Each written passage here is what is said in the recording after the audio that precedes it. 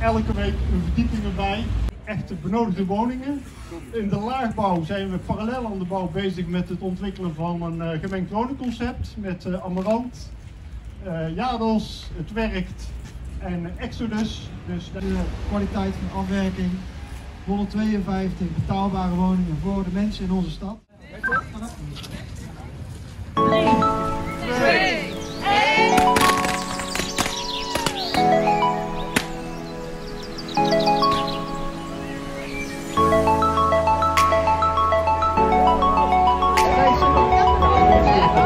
Thank.